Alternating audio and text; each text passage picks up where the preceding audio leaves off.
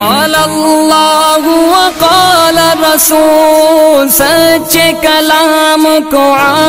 किया वालेकुम वरहमतुल्लाहि वबरकातुह मोहतरम शेख अतीक़ साहब बसगरहल्ली से पूछते हैं अगर किसी औरत के बाल इतने लंबे हों कि कमर के नीचे तक पहुँच रहे हों और ख़ुद औरत को बार बार उन बालों को समेट कर और संभाल कर रखने में दुश्वारी होती हो और उसके शोहर की तरफ़ से भी तकाज़ा हो कि इतने लंबे बाल अच्छे नहीं लगते, कुछ कम कर लो।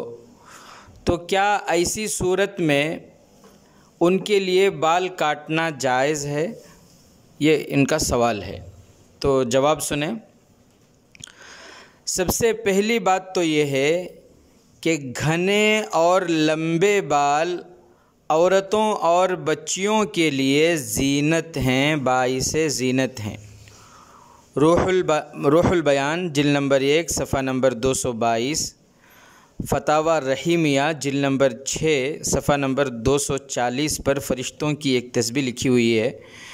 कि बाज़ फ़रिश्तों की ये तस्बी है, सुबहान मन ज़यन रिजाल बिल्लिया वज़यन नसा अबिज़वाइब फ़रिश्ते आसमानों पर यह तस्बी पढ़ते हैं जिसका तर्जुमा ये है पाक है वो ज़ात जिसने मर्दों को दाढ़ी से जीनत बख्शी और औरतों को चोटियों से जीनत बख्शी है तो दोस्तों उज़्र के बग़ैर बग़ैर किसी उज़्र के औरतों के लिए सर के बाल काटना जायज़ नहीं है हाँ अगर कोई उज़्र हो, जैसे सर में कोई ज़ख़म वग़ैरह है तो ज़ख़म और उस ज़ख़म के आसपास के बाल बक़दर ज़रूरत काटने की इजाज़त है।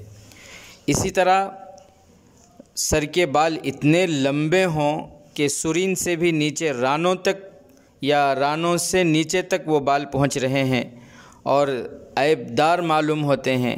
ऐबदार लग रहे हैं देखने में। तो सुरीन से नीचे वाले हिस्से के बालों को काटने की इजाज़त है। इसी तरह अगर बालों की नोक फट जाए और बालों की बढ़ोतरी उसकी वजह से रुक गई हो और वो भद्दे मालूम होते हैं तो ऐसी सूरत में भी सिर्फ़ बालों की नोकें काट सकते हैं।